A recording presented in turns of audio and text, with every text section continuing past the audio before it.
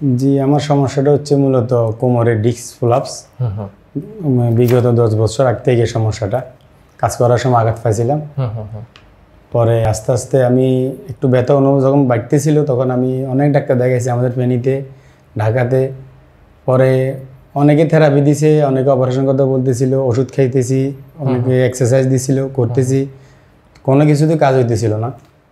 পরে আমি শফিউল্লাহ স্যারের গত দুই বছর আগ থেকে ওনার সাথে আমার পরিচয় ফেসবুকে দেখছি এখানে পিএলআইডি রোগী অনেকে সুস্থ হচ্ছে অনেকে প্যারালাইসিস এসব আমার মধ্যে যে বড় বড় সমস্যা যেগুলো এগুলো সুস্থ হতেছে তখন আমি দেখে সরাসরি আমি ছুটি নিয়ে সরাসরি এখানে স্যারের কাছে আসছি। আমি আচ্ছা। একুশ দিন ভর্তি ছিলাম। আলহামদুলিল্লাহ। আমি দশ দিন আট দশ দিন পর থেকে আমার বাম পায়ে সমস্যা আমি বাম পাটা নিয়ে হাঁটতে পারতাম না। হুম ঝিঝি করতো। আলহামদুলিল্লাহ দশ দিন পরে আমার বাম পাটা মোটামুটি ভালো।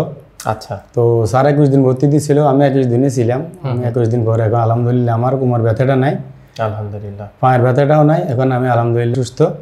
তো অনেক অনেক শুক্রিয়া আল্লাহ দরবারে।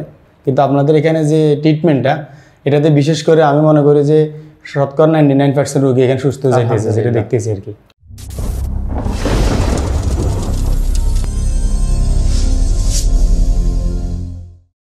আসসালামু আলাইকুম। দূরের এবং কাছের। যারা এই মুহূর্তে আমাদেরকে দেখছেন, তাদের সকলকে মেডিকেল বিডিতে স্বাগতম। দর্শক, কথা দিয়েছিলাম আপনাদেরকে। আমাদের এই ভাইকে আপনাদের সামনে নিয়ে আসব। সুস্থ অবস্থায়, স্বাভাবিক অবস্থায়। এবং আল্লাহ চাহে তো আমাদের ইচ্ছা অবশ্যই অনেকটা পূর্ণ হয়েছে। আজকে আপনাদের সামনে আমাদের সেই ভাইটি আবারও এসে উপস্থিত হয়েছেন। আমাদের এই ভাইটি একজন প্রবাসী ভাই।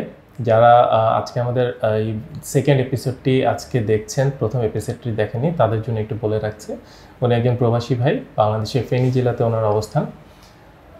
দীর্ঘদিন যাবত উনি কোমর ব্যথাজনিত উনি সমস্যায় ভুগছিলেন এবং ওনার পিএলআইডি ছিল।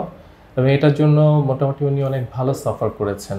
এবং পরবর্তীতে উনি ডিপিআরসি হসপিটালে ডক্টর মোহাম্মদ শফিউল্লাহ প্রধান, ওনার আন্ডারে থেকে উনি ট্রিটমেন্ট করেছেন। প্রথম এপিসোডে উনি আপনাদের সাথে শেয়ার করেছিলেন যে ওনার কী সমস্যা নিয়ে উনি এসেছিলেন এবং উনি ট্রিটমেন্টরত অবস্থায় ছিলেন। সেই অবস্থাটা উনি ব্যাখ্যা করেছিলেন আপনাদের সামনে। আজকে উনি সম্পূর্ণ সুস্থ এবং ভালো আজকে উনি বাড়ি চলে যাচ্ছেন।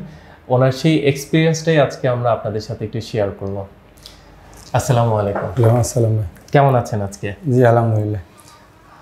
আমাদের অনেকগুলো দর্শক যারা এই মুহূর্তে হয়তো আপনাকে দেখছেন যারা হয়তো প্রথম এপিসোডটি আপনার দেখেনি তাদের জন্য যদি একটু রিমাইন্ড করে বলতেন যে আপনার কি সমস্যা ছিল সেটা যদি একটু খুলে বলতেন।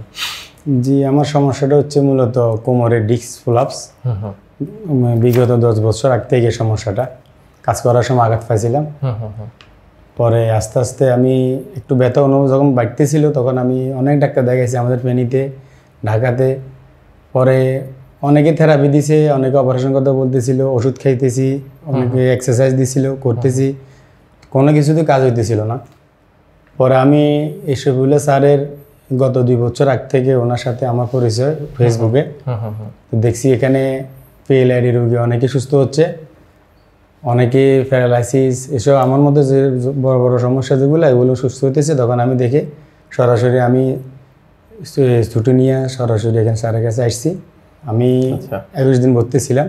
আলহামদুলিল্লাহ। আমি দশ দিন আট দশ দিন পর থেকে আমার বাম পায়ের সমস্যা। আমি বাম পাটা নিয়ে হাঁটতে পারতাম না। ঝিঝি করতো। হুম হুম।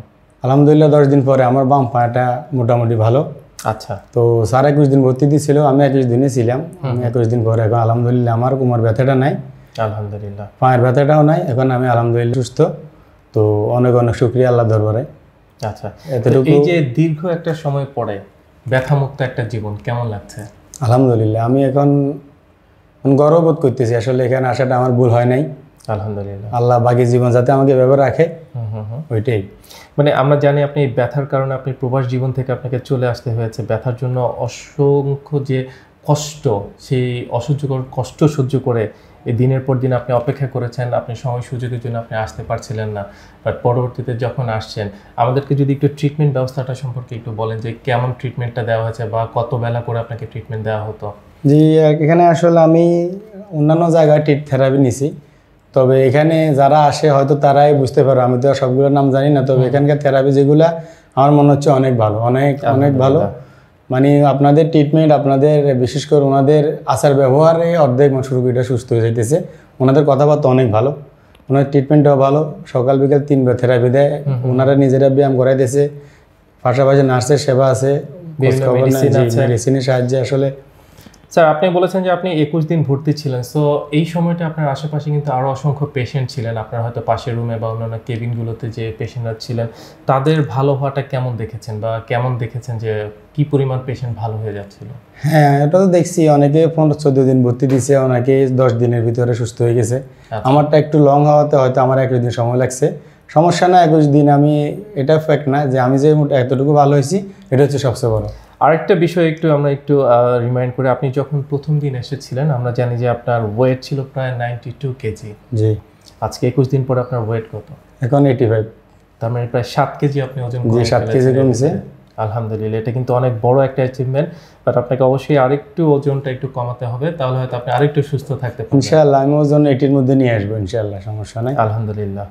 স্যার একটা সময় ছিল যখন আপনি অসংখ্য পেশেন্ট যাদের ভিডিও আপনি দেখেছেন যারা শেয়ার করেছে তাদের এক্সপিরিয়েন্সগুলো আজকে ঠিক সেই জায়গাটা আপনি আছেন এবং অসংখ্য পেশেন্ট আপনাকে দেখছেন তাদের জন্য যদি আপনি কিছু বলেন।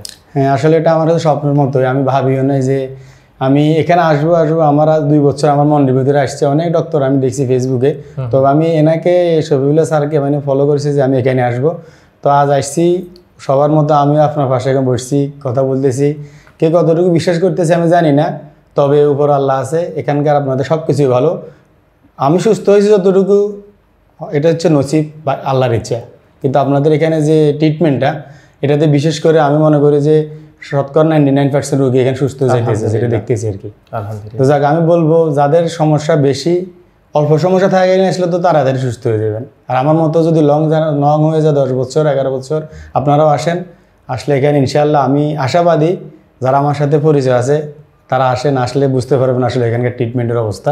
অনেক ভালো, উন্নত মানের ট্রিটমেন্ট আলহামদুলিল্লাহ। ধন্যবাদ আপনাকে।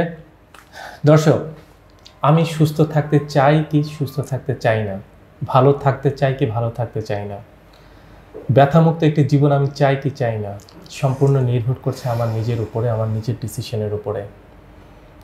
আমরা যে ধরনের উন্নত চিকিৎসাগুলো একটা সময় আমাদের কাছে কল্পনা ছিল, সেই কল্পনার সেই চিকিৎসাগুলো কিন্তু এখন বাস্তব, আমাদের হাতের কাছে আছে। তার জন্য আমাদের ভিসা, পাসপোর্টের কোনো দরকার নেই, বিদেশ যাওয়ারও কোনো দরকার নেই, অনেক অনেক টাকারও কোনো দরকার নেই। খুব অল্প খরচের ভিতরেই কিন্তু, খুব অল্প দিনের ভিতরেই এ ধরনের ব্যথার রোগীরা বা স্ট্রোকের পেশেন্টরা খুব দ্রুত সময়ের ভিতরে ভালো হয়ে যাচ্ছেন। আলহামদুলিল্লাহ, আমরা যাতে আমাদের শেষ দিন পর্যন্ত আমরা আপনাদের সেবা করে যেতে পারি। এবং আপনাদের এই ভালোবাসাগুলোই আসলে আমরা সবসময় চাই। ধন্যবাদ আপনাদের সকলকে আমাদের সঙ্গে থাকার জন্য। আসসালামু আলাইকুম। আপনাকে অসংখ্য অসংখ্য জি আপনাকে ধন্যবাদ। আসসালাম।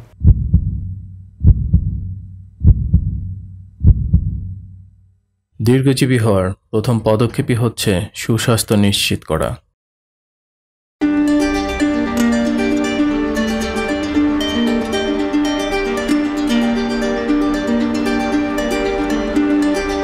দেহ ও মন ভালো থাকলেই ভালো থাকে স্বাস্থ্য। আমাদের রয়েছে আধুনিক যন্ত্রপাতি। সঠিক ও স্ট্যান্ডার্ড মানের প্যাথোলজি পরীক্ষার নিশ্চয়তা। আমরা রোগীদের প্রতি খুবই যত্নশীল ও আন্তরিক।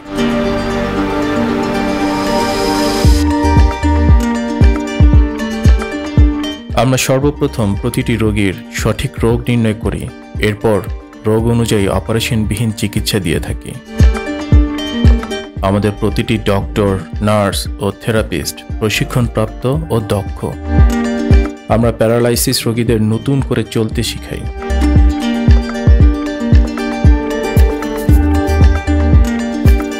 আমরা আপনাকে সর্বোচ্চ মানসম্মত আধুনিক চিকিৎসা সেবা প্রদানের নিশ্চয়তা দিচ্ছি। আমরা বিশ্বাস করি আপনি এখানে আপনার নিজ পরিবারের মতোই সেবা পাবেন।